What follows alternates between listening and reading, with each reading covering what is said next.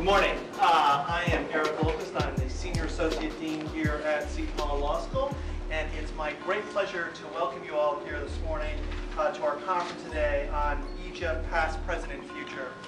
Today's conference is going to examine the implications of the Egyptian Revolution uh, and on both international and constitutional law, the role of social networking in facilitating revolutionary change, and the future of the region more generally.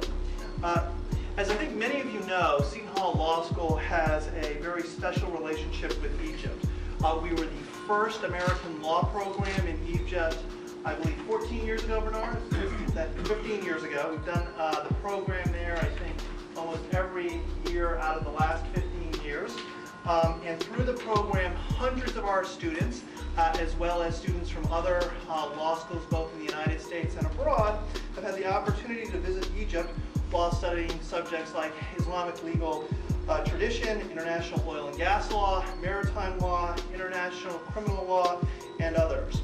Uh, this year uh, would have been our 15th year in Cairo, and I was very excited to be going uh, this summer. Uh, unfortunately, Bernard and I reluctantly came to the conclusion uh, that due to the revolution, and, and, perhaps more distinctly because of the uncertainty of the government uh, restructuring now going on in Egypt, we canceled this summer's program. But uh, on a personal note, I will uh, tell you that I am greatly looking forward to joining Bernard uh, next summer uh, in Egypt. And yes, Bernard, you're going next summer, um, like it or not, um, uh, in, uh, Cairo um, and in years to come after that as well. Um, and for those of you